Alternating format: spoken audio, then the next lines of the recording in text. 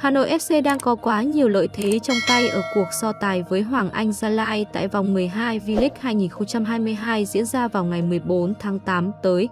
Hà Nội FC và Hoàng Anh Gia Lai đã có bước chạy đà tương đối tốt trước màn so tài trực tiếp ở vòng 12 V-League 2022. Nếu như Hà Nội FC đánh bại Bình Định với tỷ số 1, không thì đoàn quân của huấn luyện viên Kia Tisak cũng thắng tối thiểu Sài Gòn FC trên sân thống nhất. Chuỗi phong độ ấn tượng của hai đội bóng này từ tháng 7 đến thời điểm hiện tại là chìa khóa giúp họ đang chia nhau hai vị trí dẫn đầu trên bảng xếp hạng. Hà Nội FC hiện có 23 điểm, hơn Hoàng Anh Gia Lai 4 điểm trong cuộc đua vô địch. Sau nhiều năm thì ở lần đối đầu này, cán cân lực lượng giữa hai đội mới cân bằng đến như vậy. Nhưng câu hỏi đặt ra là liệu Hà Nội FC hay Hoàng Anh Gia Lai có dám mạo hiểm ở trận cầu 6 điểm này không? Câu trả lời sẽ có sau 90 phút tranh tài ở hàng đẫy vào ngày 14 tháng 8.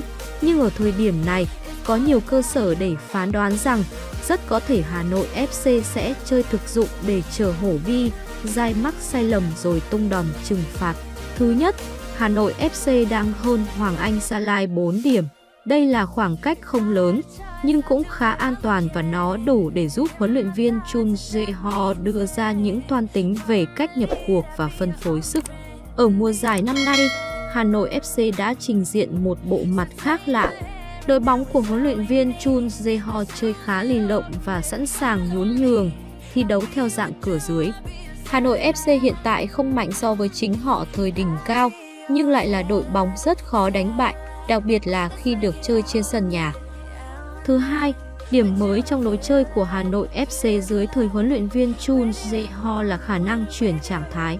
Nhờ sự cơ động của tuyến tiền vệ và tốc độ của Tuấn Hải và các tiền đạo trẻ lứa tuổi U23, sự càn lướt của các ngoại binh mà những pha chuyển trạng thái của Hà Nội FC có tính sát thương cao hơn. Ở trận đấu với Hoàng Anh Gia Lai tới đây, Tuấn Hải, Siladi Vladimir và Mujan Tonsi sẽ là mối nguy hiểm thường trực đối với Hổ Bi, Dài.